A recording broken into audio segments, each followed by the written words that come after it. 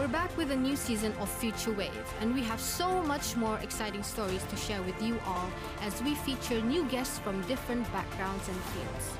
So buckle up for the ride and get ready because you'll be all fired up.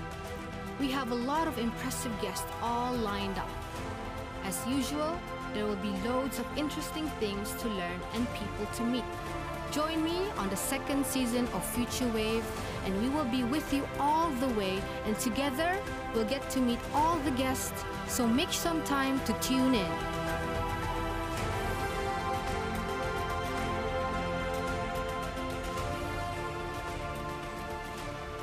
Hi, catch me, Keeran Janin, founder of Dot and Avantis, on this week's Future Wave.